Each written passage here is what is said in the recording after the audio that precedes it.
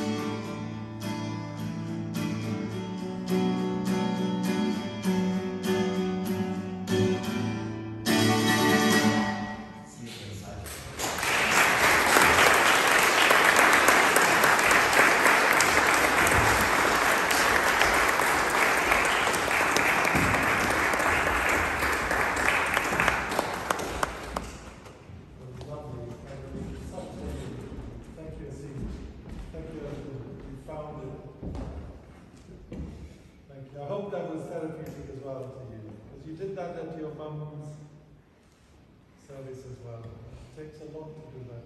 It just shows the kind of person you are. So thank you, Ajahn Gurindachada, I hope